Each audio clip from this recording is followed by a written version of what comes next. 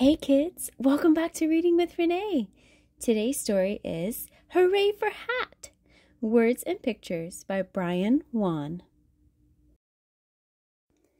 When Elephant woke up, he was very grumpy.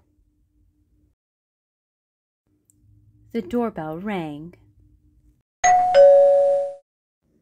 Elephant stomped down the stairs.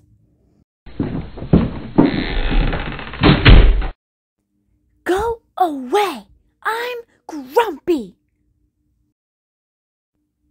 There was a present on the doorstep. Elephant unwrapped the box. It was hard to stay grumpy now. Hooray for Hat! Elephant cheered. I will show Zebra. But Zebra did not want to look at any hats. Go away. I'm grumpy. So Elephant gave Zebra a hat. Zebra smiled. They both cheered. Hooray for hat! Let's show Turtle. But Turtle would not come out of his shell. Go away. I'm grumpy. Elephant gave Turtle a hat too. Turtle smiled. They all cheered. Hooray for hat! Let's show Owl! But Owl did not want to see them or their hats.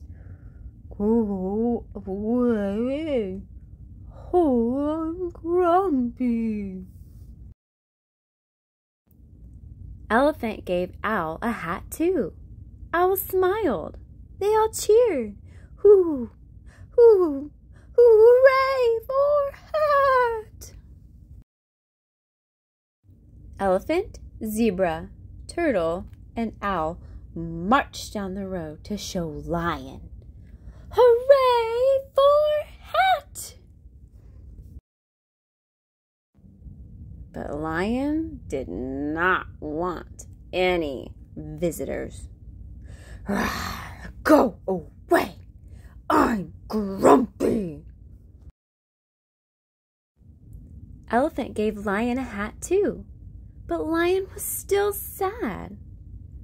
I love this hat, but I can't cheer while our friend Giraffe is not feeling well. What can we do?